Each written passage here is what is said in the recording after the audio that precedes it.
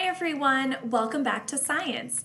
I'm Miss Catherine and let's get started today with our Matter and Energy in Ecosystems lesson 2.3. For today you will need a pen um, or a pencil to write with as well as some lined or blank paper to write on.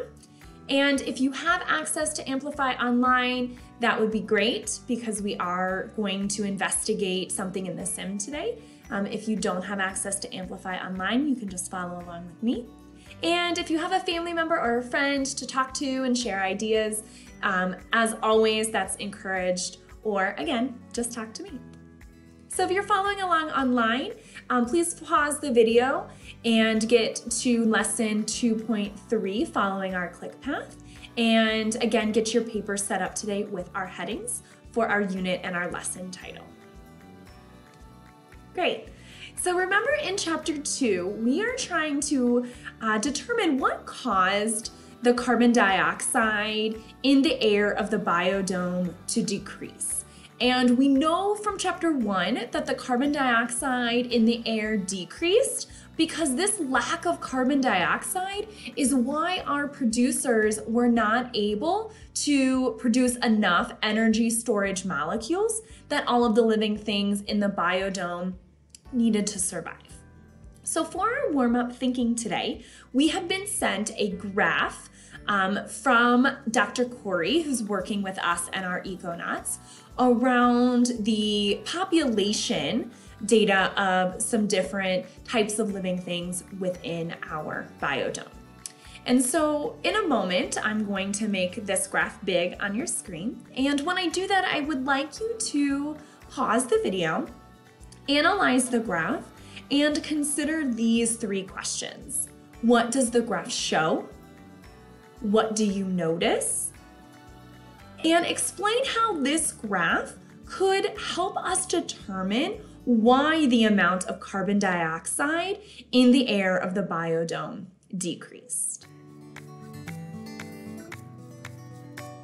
So when I was looking at this graph and considering those three questions, um, I am noticing first that the graph is showing biodome population data of three different types of living things within our biodome. It's the decomposers, the producers, and the consumers.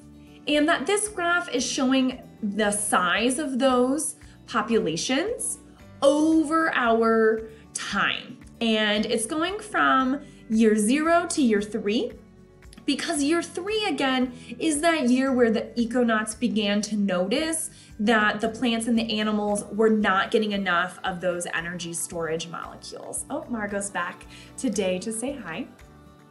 And when I am looking at the graph, I notice um, that over time, the population of the decomposers is going down, it's decreasing, However, the populations of both the producers and the consumers is staying the same because that line is flat. It's not really changing very much. And when I consider how this information could be helpful in determining why the amount of carbon dioxide in the air of the biodome decreased, um, well, I know from last time that all three of these uh, components of our abiotic ecosystem, all three of those undergo the process of cellular respiration. And through that process of cellular respiration, we are adding carbon dioxide into the atmosphere.